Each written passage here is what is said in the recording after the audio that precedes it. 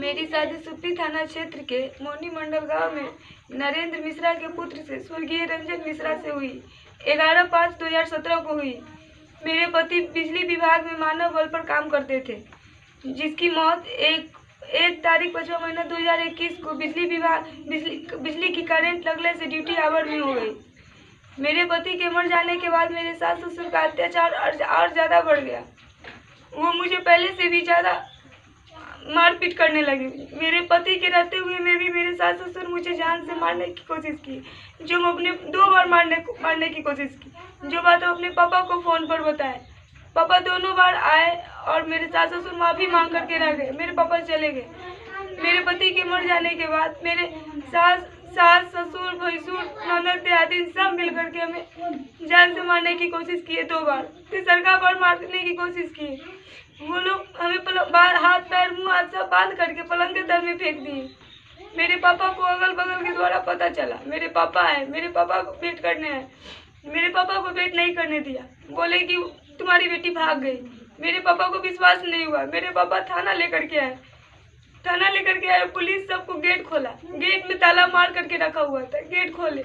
देखे कि पलंग के तर में मुँह, हाथ बाँध करके रखा हुआ है। बोल रहा था कि आज काट देंगे इसको। बोलेंगे तुम्हारी बेटी भाग गई।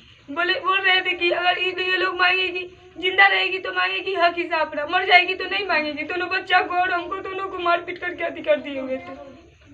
फिर वो लोग हम लोग थाना लेकर के आए, मेरे पापा को हवाले कर दिए। हम लोग नज़र चले आए।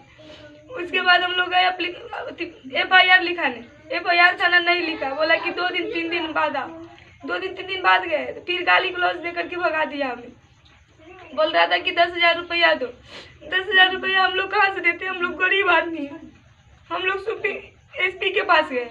एसपी को बताए एसपी के पास दो बार गए। एक बार गए तो वो भी सुनवाई नहीं किया। तो सरकार बार गए, पैसा मांग रहा था तो। तो फिर उसके कहने पर एफ़ आई आर लिखा। एफ़ आई आर तो लिख लिया, मगर कोई केस का सुनवाई नहीं कर रहा है।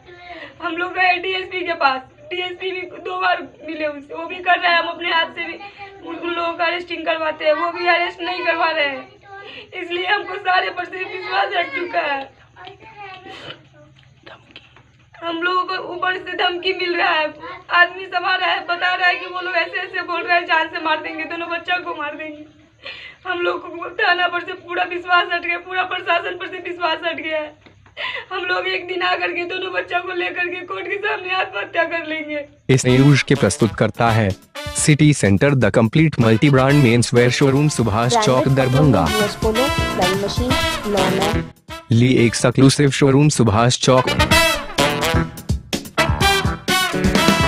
और दैनिक कॉमी तंजीम न्यूज़पेपर दरभंगा।